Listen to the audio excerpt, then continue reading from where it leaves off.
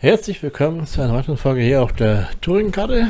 Äh, heute soll der Ton passen. Ich habe noch ein bisschen getestet, äh, eine ganze Weile. Bitte mir entschuldigen, dass letzte, Woche, die letzten zehn Folgen miserabel war. Ich war an sich gut zu hören, denke ich mal, aber leider war der Rest äh, unterbelichtet, kann man sagen. Tja, äh, versucht mal neu. Äh, die eine Folge muss ich mal kurz aufnehmen. Ich habe zwar vorher einen Test durchgeführt, aber trotzdem mal die eine Folge komplett äh, durchtesten. Wir werden heute äh, kurz mal schauen. Ich habe jetzt letzte Woche äh, 10 Folgen gemacht. Heute mache ich die nächsten vier. In Anführungszeichen für, für später. äh, laut Plan Donnerstag, Freitag, wenn ich es recht Kopf behalte. Ja, äh, jedenfalls äh, nochmal entschuldigen dafür, dass es so schlecht, äh, meiner war es schlecht und ich hätte vorher prüfen müssen, so, jetzt läuft der Media Player auch über den zweiten Rechner, äh, was vielleicht ein bisschen besser ist, weil ich jetzt, äh, äh, sag mal so, den Ton unterscheiden kann zwischen äh, Mikrofon, äh, Player und äh, Spiel. Das heißt, wir müssen jetzt mal schauen. Ja, BGH, LKW. Ob der LKW hier umsteht oder bei der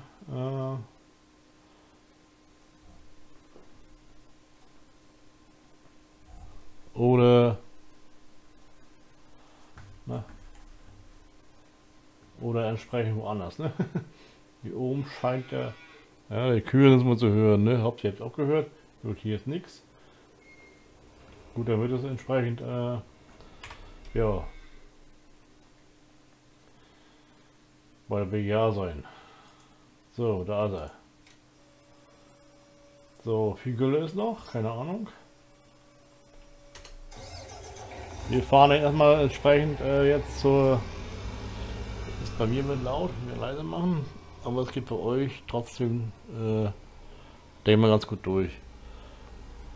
Ich wollte heute äh, keine Silage einfüllen, sondern nur die Gülle. Ich will mal so sehen, was so eine Gülle einbringt. Das kann wir auf äh, 8 gehen. Einbringt, wenn wir die jetzt, äh, na, da schon nur in die BGA fahren. Also muss ich mal testen. Weil Silage bringt ja echt nicht viel Geld. War ich ein bisschen enttäuscht, ne? Das kann dann auch am Season liegen, ne? Dass es da entsprechend äh, andere Preise gibt dadurch, ne? Gut, das ist jetzt mal so, ne? Mal so in Kauf nehmen. Ich ändere persönlich da nichts dran, ne? Also dann gibt es nur die andere Variante, entweder machen ein bisschen weniger oder machen kräftige Silage, ne? Das soll richtig gut verdienen. Also das, der Aufwand ist dann natürlich enorm. Ne? Gut, mit, wenn die Gülle das gut läuft, dann könnte man das über Kursfehler umlassen. Rein theoretisch, dass man hier vorbeifahren und automatisch abladen lassen in Zukunft. Ja, ansonsten werden wir sehen, dass wir heute in Gang kriegen, die vier Aufnahmen kriegen. Ne? Also, die Tiere so machen. Ne? Äh, Ernte habe ich alles durch. Tiere, so, Kuhstall. Das passt so. Äh, Sauberkeit, Nahrung, Wasser passt. Hm, Stroh, klar fehlt. Aber wir haben im Prinzip jetzt noch äh, unsere Rinder, die sind 1,3 Jahre, die werden wir im Frühjahr verkaufen. Ja. Und die äh, kriegen 0,7, 0,5 äh, Kälber. 0,4, 3, 3, 5. Da oben bin später, habe ich später gekauft, aber die kriegen alle jetzt im Schnitt 0,3 sind die jüngsten. Und da will ich eigentlich den Stall hier den zweiten leer haben. Also 0,3, das heißt ein Vierteljahr. Äh, wir haben aktuell Herbst, Mitte. Das heißt, äh, Mitte Winter müssen die Rinder dann verkauft sein. So, ich hoffe, der Ton passt. Ich hoffe, Das ist eine Katastrophe, sag ich euch.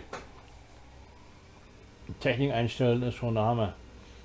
Und sollte alles passen und ich kann es ja dann zur gleichen Zeit, äh, äh, wie es läuft, nicht testen. Das ist das einzige Blöde. Man muss ja auch einen Test vorher verlassen. Und wenn alle dann drei äh, Tonspuren laufen, ist es wieder anders, wenn man äh, nur eine Tonspur laufen lässt. Also sofort äh, Unterschied da.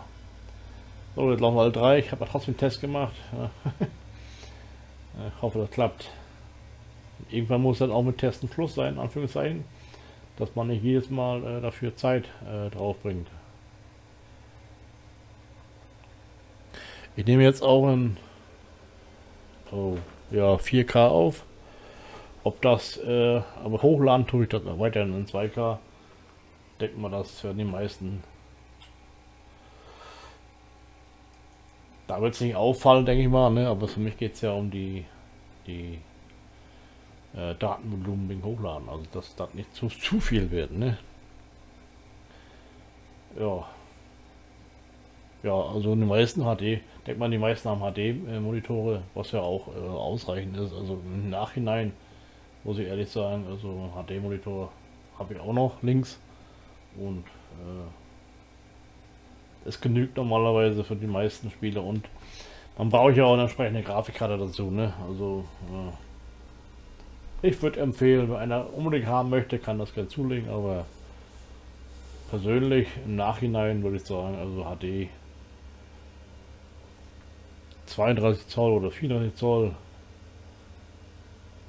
ausreichend. Je größer, umso stärker muss auch die Grafikkarte sein und äh, wird das äh, unangenehm eng, sagen wir so, von Leistung her. Ne? Wenn das hier die Einstellung so tief runterstellen muss, ist das auch nicht schön. So, äh, Gülle haben wir an, wir haben Herbst und äh, ja, äh, der Zeitpunkt kommt bald. Wir werden unsere Geräte verkaufen. Bin zu weit gefahren. Ja, Geräte verkaufen. Aber halt nicht alle Gebäude. Also Gebäude will ich lassen. Zum Beispiel äh, mindestens die Lagermöglichkeiten. Also Gebäude will ich nicht anrühren. Und dann werde ich das in Ordner entsprechend speichern, um dann im Nachhinein, äh, also sicher im Prinzip, und im Nachhinein dann hier im, im, im Programm von Giants direkt den Mod äh, dann deinstallieren. Und deswegen halt dann genau sehen kann, was Mod ich deinstalliere. Ne? Ich kann zwar auch die Ordner entsprechend so löschen, also direkt im Mod-Ordner äh, im Rechner. Nur da kann es sein, dass ich den einen oder anderen nicht so erkenne. Ne? Kann, muss nicht. Aber, aber wie gesagt, vorsichern, dass man da hinterher nicht lange suchen muss, ne, wenn man einen braucht. Heute habe ich Global Company äh, aktualisiert. Ich meine, so einen großen Ganzen verwende ich ihn ja hier nicht, äh, aber die Lagermöglichkeiten laufen darüber. Also dann brauchen wir den schon.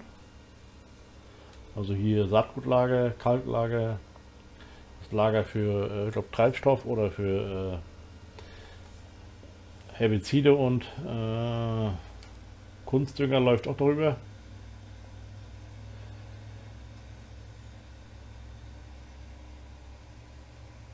Ich hoffe, dass alles klappt. Also von der, vom Ausschlagen her ist, äh, ist das Spiel ein bisschen lauter wie die Musik. Aber da muss ich ihn ja gleich mal testen. Beziehungsweise nachher, sofort.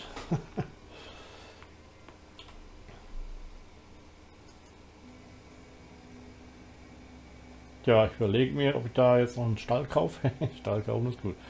Also so muss ich überlegen, ne? Also da, weil ich auch an Mist haben möchte, ne? Weil Mist bringt ja bei der BGH besonders viel, ne? Also ein Stall kostet ja äh, ein bisschen Geld, ne? Ich habe ja hier ganz guten drinne. Auch von Castor, hier so, so ein Milchhof. 500 Tiere, perfekt. Da gibt es ja mehrere, ne?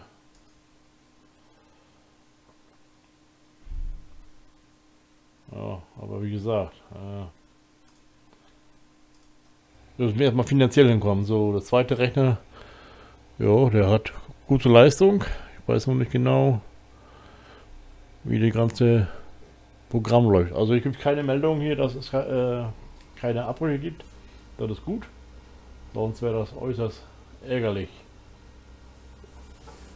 Ja, so bin eintönig Zeit mit, mit Gülle fahren, aber ich könnte ja eigentlich jetzt mal gleich den Kurs einfahren, ne?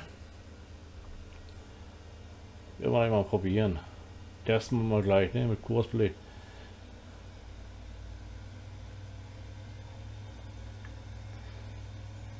Der kann dann theoretisch immer fahren nachher, irgendwann nachher. So. Tacken tun wir hier nicht, aber wir können mal da ranfahren. Also noch war wir kein Kurs. Müssen wir mal sehen, wo wir starten. Am besten bei der Gülle starten. So. Weil dann wir hier schön dicht ranfahren und dann da an vorbei. Das macht er dann ganz gut. Trecker erreicht und geht zurück. Schade zeigt nichts an, deswegen mache ich jetzt auch nur Gülle, das keine Silage. Weil dadurch äh, Silage wird auch gehen, aber das Förderband ist ein bisschen ungünstig, ne? weil man verstellt werden muss.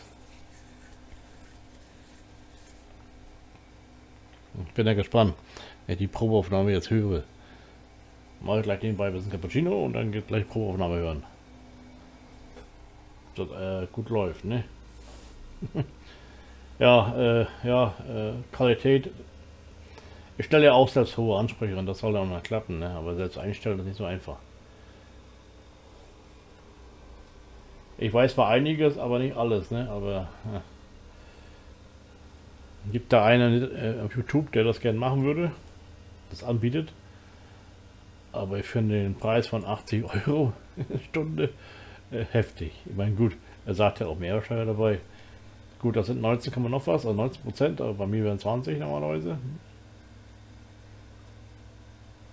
Funktioniert so nicht bei mir. Ich bin Österreich, lebe in Österreich.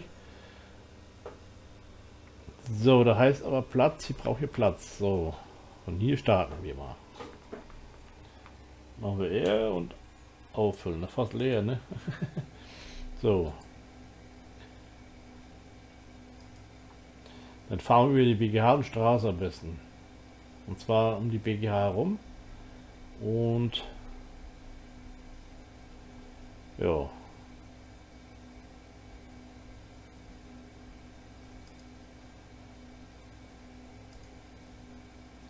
Gülle. Abfahren 90%, auffüllen bis, achso. Gut, dann haben wir los. Und zwar über die Straße. Aber nicht den weiten Weg äh, rechts, sondern einfach links. Äh, rechts fahren nach Möglichkeit, aber gut, hier ist im Prinzip, äh, na egal, ist sowieso nicht, aber hier geht's rüber. Außen lang düsen, über diesen eh vorhandenen Weg. Ne? Schön außen bleiben, nicht so weit außen fahren. Anhänger steht ein bisschen im Weg, aber gut. Mitgehen müssen. So.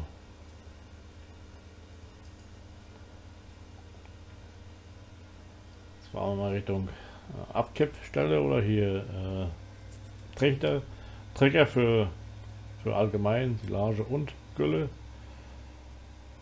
So, an der Tankstelle vorbei. Falls ihr mal tanken will, müsste, müsste oder muss, da kann er allein machen. Hoffe ich jedenfalls. So. Nehmen wir Gas weg, wenn es so schnell fährt.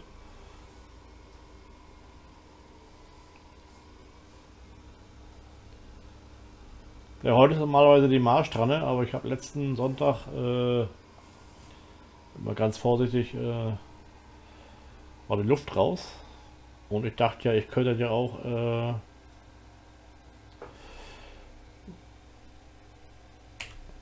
Montag war noch Dienstag. Und da war es aber auch nicht so richtig, ne? Und dann habe ich ein bisschen eine Stunde 7 die zu dir aufgenommen und dann war irgendwann nachher, ja, gut. Weil wie gesagt, 10 Folgen ist ja immer nicht schlecht. Und dann machst du halt die Freitag, Freitag die Folgen nach und lädst da zusammen mit äh, der Marsch hoch am Samstag und dann ist es auch gut.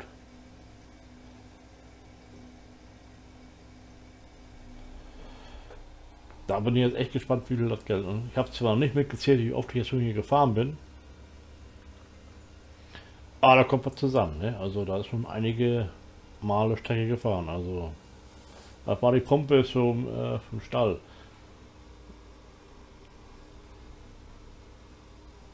Muss man nicht verstehen, warum es so dann, äh, funktioniert. Ne? Hauptsache das funktioniert. Ne? Also dass man da nicht unbedingt äh, selbst nachfüllen muss.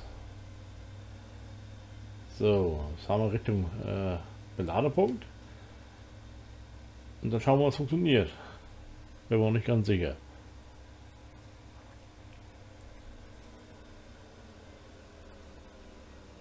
Ja, äh, was wird man heute machen? Modernen Zeit. Man wird eine Leitung verlegen und was noch? Ja. Wasserhahn, Pumpe. So. Lassen wir eine Runde fahren. Hat er jetzt zwar nicht befüllt. Aber wir testen mal. Zweimal. Einmal muss er füllen und nächstes Mal muss er abladen. Sonst funktioniert das nicht. Gülle steht dran. Ne? Und speichern müssen wir auch nicht.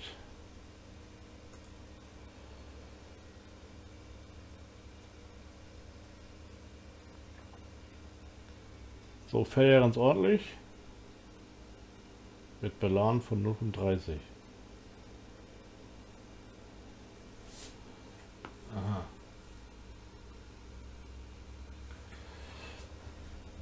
Werden wir da sehen, ne? ob das funktioniert. Naja, gut, dann machen wir ein bisschen länger. Auch wenn gleich piept. Verlängern wir gleich mal um zwei Minuten.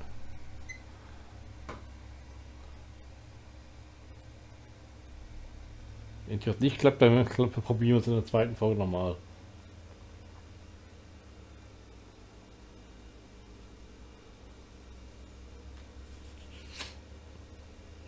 Das könnte er reparieren, wenn es gehen würde, ne?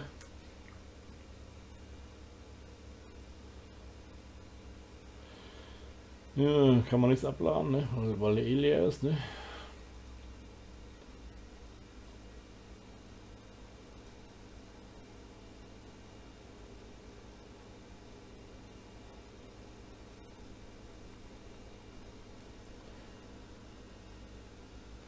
Ja. Eine trockene Lippe, das ist furchtbar. Platze mal ein. Mal ein bisschen eincremen näher.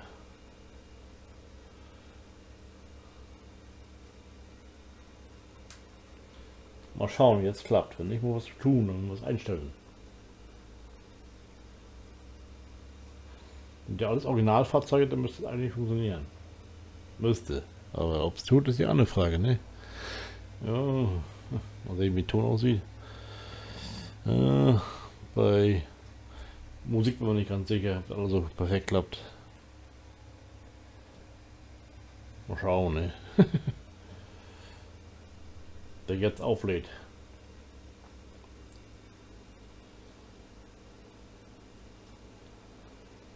So, schau, das soll es für heute gewesen sein. Mal schauen, was er gleich macht.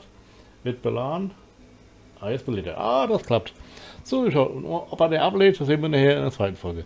Dann danke fürs Reinschauen. Tschüss auf den Winkel. Ciao, ciao.